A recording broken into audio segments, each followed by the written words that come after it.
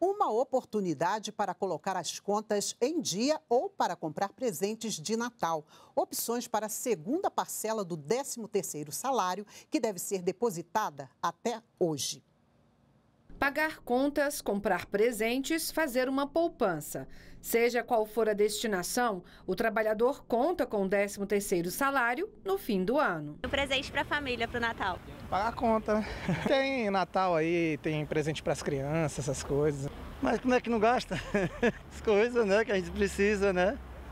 Roupa, roupa para os filhos, para mim. O benefício é pago proporcional aos meses trabalhados no ano. Se a pessoa trabalhou pelo menos 15 dias em um mês, já tem direito ao 13º. Instituída há 60 anos, a gratificação natalina tem outras regras. A primeira parte do 13º salário, correspondente a 50% do benefício, tem de ser paga até o dia 30 de novembro.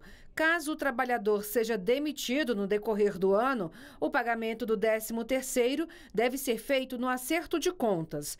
Já quem é demitido por justa causa não tem direito à gratificação natalina.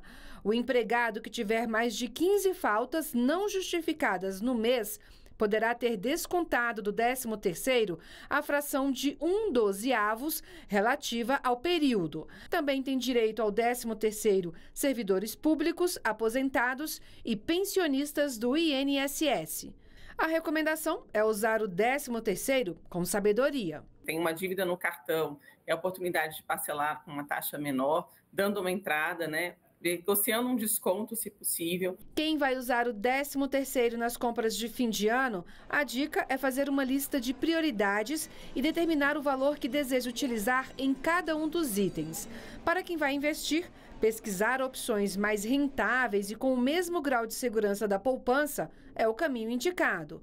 Outra sugestão para o recurso extra é antecipar parcelas de financiamentos. Usar esse dinheiro com o máximo de parcimônia possível, e, e sabedoria para você não desperdiçar essa oportunidade né, desse recurso para começar o ano realmente com mais equilíbrio financeiro.